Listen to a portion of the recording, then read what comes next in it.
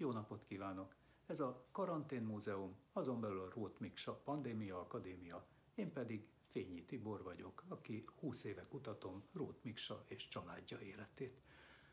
A múzeumban elég sokszor van olyan, hogy érdekes vagy fontos dologra legfeljebb egy-két mondatban tudunk kitérni. Hát most egy picit több időnk van, vegyük sorra ezeket.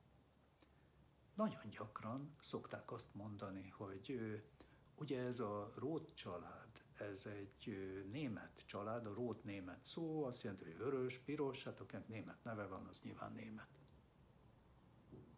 Nem pontosan. A Rót család egy Magyarországon több száz éve élő zsidó család, akiknek német neve 1787-től van. Hogy miért pont attól, majd erről fogunk beszélni. Eredetileg milyen nevük volt az embereknek? Hát kezdetben Vala, Ádám, Éva, Mózes, tehát nem volt családnevük, személynevük volt az embereknek. Később aztán már azt hozzátették, hogy mondjuk, hogyha volt egy Mózes nevű embernek egy Icák nevű fia, hogy Icák ben Moises, hogy Icák Mózes fia. Ez a névadás, ez a világ más részein is általános volt nagyon sokáig, hogy például Izlandon a mai napig is mindenkinek ilyen típusú neve van. De hogyha csak belegondolunk, hogy a középkori művészeket, Brasson, Ulrich mestert, vagy János mestert, Kassán, vagy Tamást, aki a, a Garamszenbenek oltárt készítette, csak a nevét, a személy nevét ismerjük, akkor látjuk, hogy ez nagyon sokáig így lehetett Európa közepén is. Majd pedig kialakultak a családnevek, ezek a ragadványnevekből. Hogyha egy faluban több azonos nevű volt, akkor valahogy meg kellett különböztetni. Ah, tudod, ő a kopasz, tudod, ő a kovács, tudod, ő a tót, aki vagy szlovák származású volt, mai szóval, tehát tót volt, vagy éppen csak velük kereskedett, tehát, de megkülönböztetésül használták, később ezekből lettek a családnevek. Azonban a zsidó családok megtartották az eredeti ószövetségi neveiket, és ez nem tetszett második Józsefnek. Második József egy hallatlan, erőteljes reform folyamatot próbált tíz éves uralkodása alatt megvalósítani. Napi átlagban két rendeletet hozott, ezeknek egy részébe személyesen vett részt, akár a leírásában is. Voltak köztük nagyon jók, és kevésbé jók, például megszüntette a kínvallatást, a halálbüntetést, de úgy döntött, hogy betiltja a női divatot, mert az csak elszegényíti az alatvalóit. Hát ez azt hiszem nem jött be, és hogyha végignézzük a 6000 rendeletet, akkor lehet, hogy kevesebb több lett volna. Ezek között volt az, hogy a zsidó családok kötelesek családnevet fölvenni, méghozzá német családnevet, hiszen ez a németesítés időszaka volt számára. El kellett menni mindenkinek egy bizottság elé, és ott választani egy nevet. Ha ezt nem tette meg, akkor kiutasították a birodalomból. Hát milyen neveket választottak? Nem örültek neki a zsidók, ezért ők addig ugye az ószövetségi neveiket használták, de hát essünk túl rajta, legyen minél egyszerűbb a dolog, ezért aki nagy volt, az Grossnak nevezték, aki kicsi volt, azt Kleinnek nevezték. Akinek fekete volt a haja, a, hú, ez már régen volt fekete, szóval akinek fekete volt a haja, azt Schwarznak nevezték. A rótokat nem azért nevezték rótoknak, mert piros volt a hajuk, hanem mondjuk a házuk, vagy a házukon a cégér volt piros, és innen kapták a rót nevet. De nagyon sokan mások azok pedig arról az országról választották a nevet, ahonnan bevándoroltak. Tudjuk, így lettek a dajcsok, németek, polákok, lengyelek. Nagyon sok volt egy időben a Schlesinger, sziléziai, vagy a Preuss, aki a porosz, és a Reis, aki az orosz nevet jelentette. De például voltak a versek, valisok, amit ma már sokkal kevesebben tudnak, ebben az időben ugyanis Olaszországot nevezték így. Aztán voltak, akik a mesterségüket akarták a nevüknek, nevükké tenni. Például, ha valaki bőrös volt, akkor azt Léderernek hívták. Hogyha valaki gazdagabb volt és ékszerész, akkor őt mondjuk Goldschmidtnek hívták.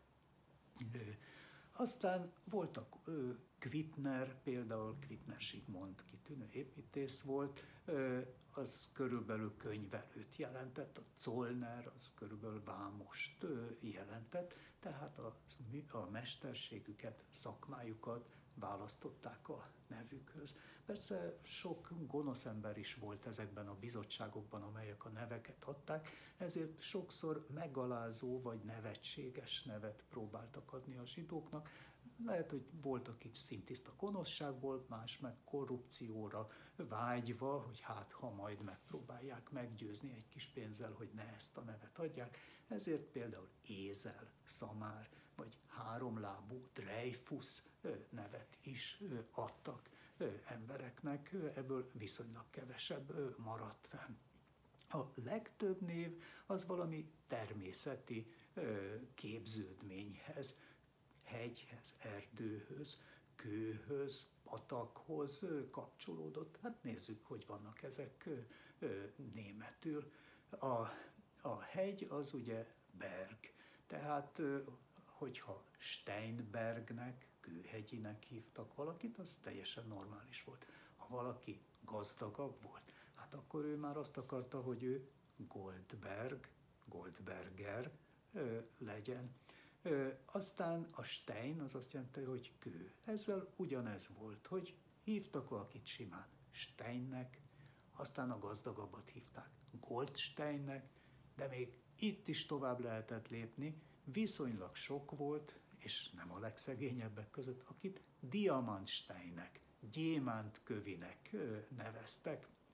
És aztán volt a Wald, az erdő, a, simán a Welder, vagy az erdőhöz valami más teszünk hozzá, Waldapfel például névként, ugye ez is ismerős, a, mondjuk a művészet történet, irodalom történetből, ez a név. Aztán a Waldhoz még, tehát a Schönwald, hogyha valaki ilyen szép lelkű volt. Egyáltalán nagyon szerették a sőn szót ö, ö, hozzátenni, a szép azt jelenti, ö, szót hozzátenni, ö, Schönfeld, szép mező, Schönau, ö, szép ligeti, vagy hasonló. Tehát a sőn szót és a rózsa szót nagyon-nagyon-nagyon gyakran tették hozzá.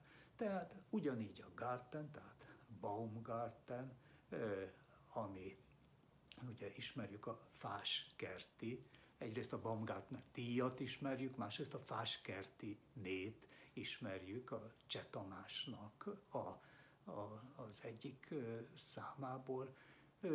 Nagyon sok nevet a mai napig is ismerünk ezekből, azonban 1894-től 1914-ig egy nagyon jelentős név magyarosítási hullám volt a zsidók között, majd a horti korszakban ott a hatóság ezt már nagyon akadályozta, és egy harmadik név magyarosítási hullám a második világháború után volt, amikor érthetően sokan gondolták úgy, hogy ők nem akarnak német nevet maguknak.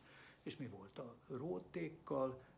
Rót Miksának az egyik öccse, az Rót Emmanuel volt, Immanuel, ószövetségi név azt jelenti velünk az Isten, ennek több változata van, Manuel Mandel, és a magyar megfelelője Manó, tehát ő volt az öccse, Rót Manó. Volt egy másik öccse, aki színész volt, Kálmán, ő volt egy kicsi növésű, volt rót, ezért kis rótnak is kezdték nevezni, tehát ennek az időnek a leghíresebb komikusát a kis rótnak hívták, ezért ő nevet változtatott, és ő volt az egyetlen a rótok közül, aki magyarosítással Pesti Kálmán néven dolgozott tovább színészként, Rót Miksa is magyarosított. 1897-ben, Rot, németes írásúból magyaros írású Rót miksává vált. Én ezt tudtam most elmondani önöknek ebben a rövid időben Mandel Bernátnak az Egység 1909. január, február, márciusban megjelent nagy cikk sorozatából szemezgettem, de önök a magyarzsidó.hu Flódni oldalon is találhatnak ehhez még nagyon érdekes dolgokat, és ha tetszett, akkor kérem lájkolják, posztolják, szóljanak barátaiknak, szeretteiknek, hogy nézzék ők is a Karantén Múzeum következő előadásait. Ha nem tetszett, szóljanak az ellenségeiknek, hát ha azok is megnézik, és akkor nekik se lesz jobb. A következő előadásban azon fogunk beszélni, arról fogok beszélni, hogy a pesti zsandárok miért pofozták az üvegfestő feleségeket. Ha érdekli önöket, jöjjenek, hallgassák meg, és addig is nagyon vigyázzanak maguk.